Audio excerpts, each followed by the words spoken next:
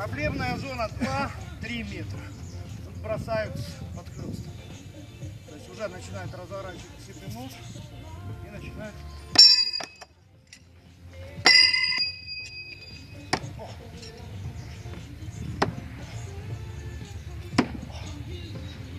То есть тут идет подхлест. И полоборота. 3-4 до 4,5. Два разных хвата, один за ручку я образом.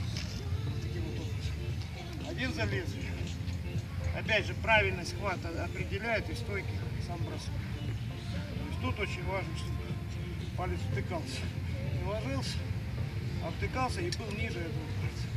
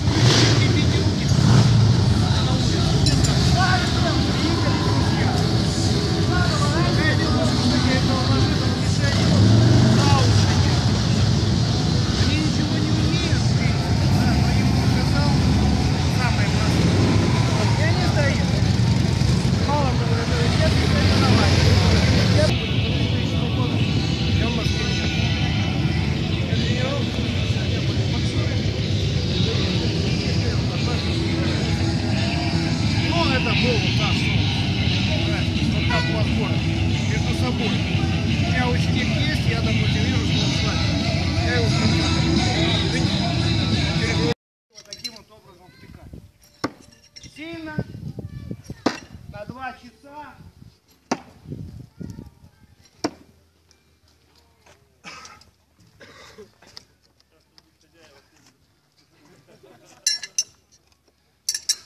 Всем понятно? Еще лучше, когда вы все отбросали, потом пошли вместе, забрали ножи. Времени потратим меньше. Подошел, бросил в сторону, бросил в сторону, бросил в сторону. И смотрите, где ваш нож.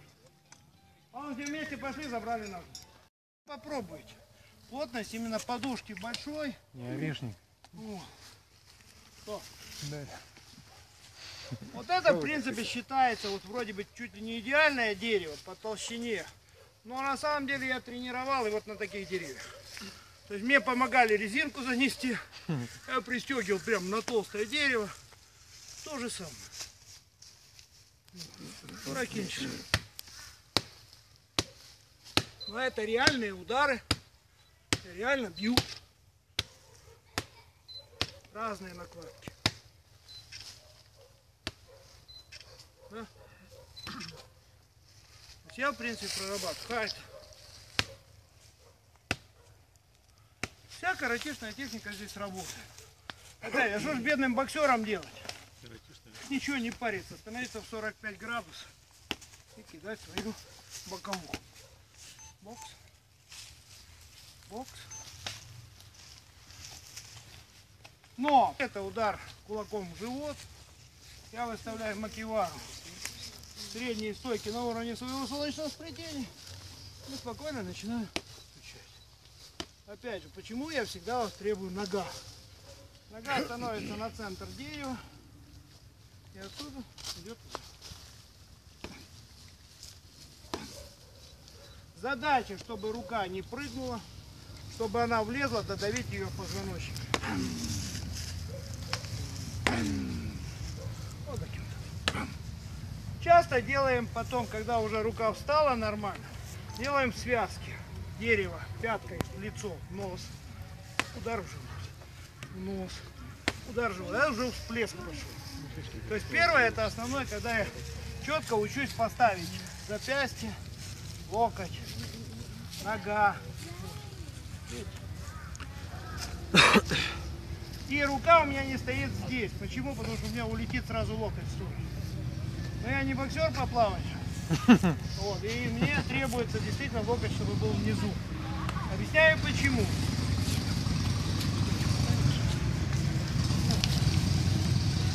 Смотрите, ситуация. И ситуация. Сила будет Тогда рука становится как оглоб. Тогда будет давление. Посмотрите, толкай. Где рука? Толчка не будет. А теперь толчок. Толчок. Поэтому то же самое, когда человек начинает он опять же рассчитан на то, что стоит сбоку человек, я ему ту, тулил. Там принцип какой, не становись в боевую стойку, нанеси удар. Вот. Если человек становится в эту стойку, понятно, с ним уже надо драться, да? Да, ставишь ставишь, ну естественно, что, со мной драться-то. Меня можно побить, я же несчастье. Вот. А это получается несчастье для этого человека.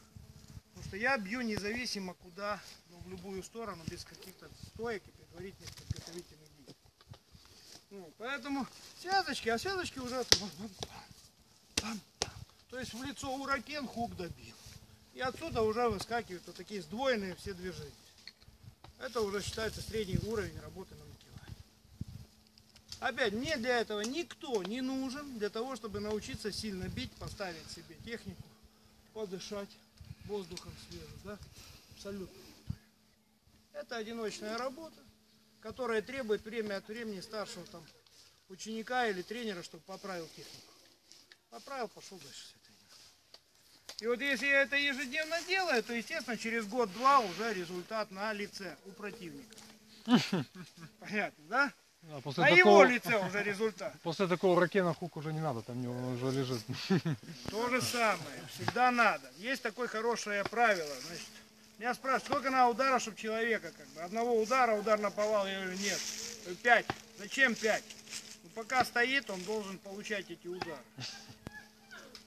Не обязательно. Иногда бывает, что у человека уже проблем нет никаких и после первого, но он еще не упал. Ну и надо помочь ему сложиться раз пять. Доработать до конца в непосредственной близости. Бью и стакан бью, и средняя дистанция бью, и дальняя дистанция бью. Дальняя от себя. Когда рука уже почти выровнена. Особенно на жестких мешках сильно не побалуешь. И поэтому понимаю, что рука должна прийти так, чтобы без травм. Великолепно. Вот таким вот образом. Приход обратной стороны. Вот, в принципе, почти вот то, что я хотел первично донести. Видео будет много. Видео будет много. Объясняю еще простую вещь. Нету возможности купить. У меня один товарищ сделал просто. Он взял старые джинсы, штанину, вырезал три куска коврика туристического. Взял их по две штучки, слепил кучку. Одинаковых. А4 берешь размер. Вот. Прошил. Вот. Сделал две петли спереди, сзади и там, ну еще и по центру. Туда просто засунул веревку. И он приходит, спокойно веревкой завязал. И он с джинсовой ткани. Ну и что? Ну он себе сделал, он себе тренирует. Если руки не от скуки, то все нормально.